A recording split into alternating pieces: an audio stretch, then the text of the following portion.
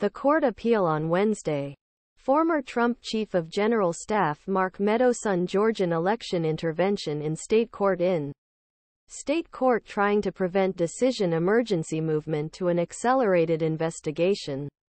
In his decision on Wednesday, Court of Appeal ordered Meadows to present the first summary on issue until September 18 with a response from Fulton District Regional Lawyer Fani Willis until September 25. The decision came day after Jones rejected separate request for separate stay from Meadows. And Meadows said that he should NT have stay.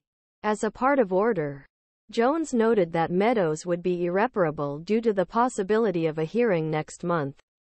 But Judge no trial date was determined for Meadows and confesses that this was not in October.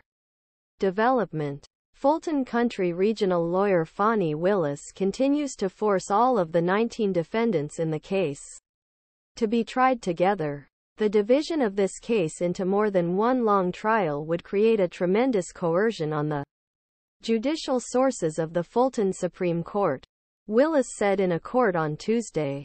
Judge Scott McAfee last week for the defendants Kenneth Chesebro and Sidney Powell. The October 23 trial date. A few additional defendants, including President Donald Trump, took action to break their cases. Willis. In file of Tuesday. If severance pay is given. A potential logistics swamp revealed once severance pay is given. Defendants demand to go back after start of October 23 attempt. So that I forced Fulton County to Fulton County. More. Three or more it will have more hearings about same facts at same time before more referee set. As a result, judge ask the judge ask other defendants waive their right a rapid trial and ask them pass with trial dates requested prevent logistics swamp. Meadows. His lawyer Mr. Meadowson guilty of the indictment that could not be claimed in the indictment. He said,